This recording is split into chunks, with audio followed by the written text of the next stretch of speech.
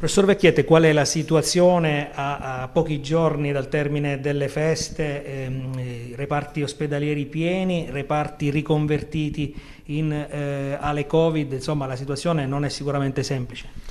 No, diciamo che è avvenuto quello che immaginavamo, mi sembra che sia un dato non soltanto locale ma assolutamente regionale e nazionale. Eh, gli ospedali hanno di nuovo dovuto riconvertire delle eh, strutture dedicate ad altre patologie perché l'affluenza dei pazienti con grave insufficienza respiratoria è progressivamente aumentata. Per quanto ne avremo ancora, se si può dire, professor Vecchietta? Guardi, io questo francamente non glielo so dire, spero eh, poco, è innegabile che però la curva dei contagi diminuisce e aumenta anche in base ai nostri comportamenti. Quindi...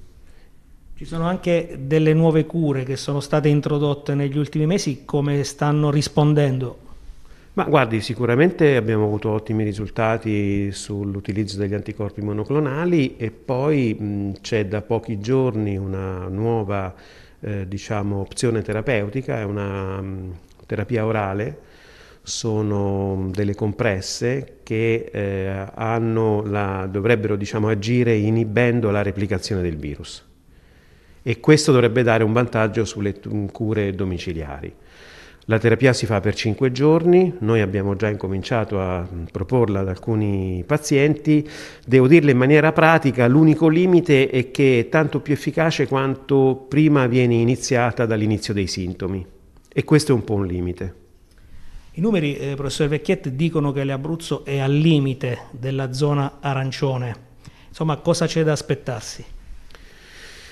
Ma eh, le ripeto, io non, non, ho una sfera di, di cristallo, eh, ritengo che appunto se da parte di, di, di tutti c'è una maggiore attenzione rispetto ai comportamenti individuali, quindi eh, mascherina, distanziamento, sanificazione delle mani, ma più di tutti la vaccinazione, quindi la, la, terza dose che si è visto che protegge e riduce anche la diffusione della trasmissibilità del virus, ma soprattutto per chi non avesse fatto il vaccino è veramente arrivato il momento di vaccinarsi.